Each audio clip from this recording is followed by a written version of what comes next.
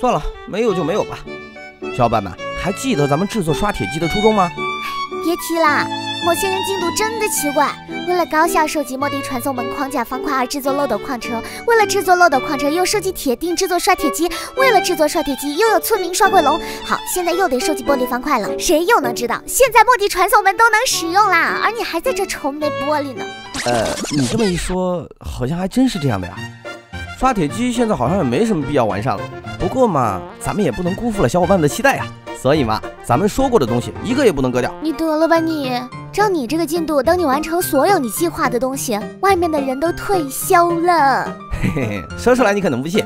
在最开始的时候，我还打算制作一个自动造陆机呢，然后在虚空中凭空造一片大陆，呃，就叫阿阳大陆。怎么样，小伙伴们心动了吗？到时候大家可以来我的大陆上玩哦。不，哈哈哈哈，瞎说看多了吧？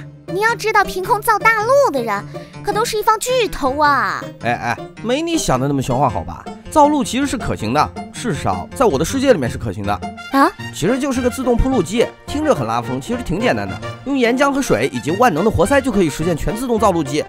哎呀，说了你也不懂，活塞可是我的世界的神器啊！除了生孩子，可是什么都会的。以后有空啊，就给你展示一下。有这么厉害吗？全自动造路，哇！创世神来了也不好说能不能办到吧。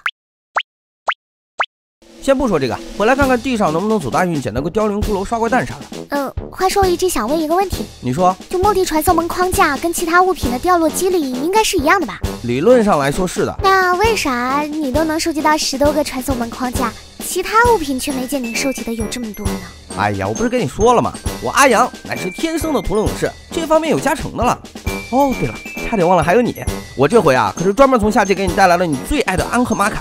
哎呀，瞧瞧这家伙，开心的都转圈了。你别过来啊！你别过来啊！哎，你没有驯服我的吗？滚开，滚开！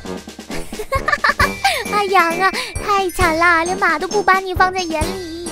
哎呀，我怎么没有想到呢？这匹马从最开始跟到现在了，都没能驯服它。哎呀，养了这么久，还是需要用小麦去驯服。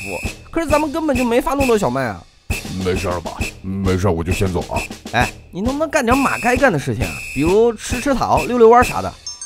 我去，你还会开门呢？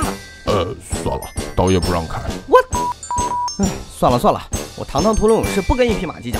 让我整理一下这趟的战利品。嗯，这这这这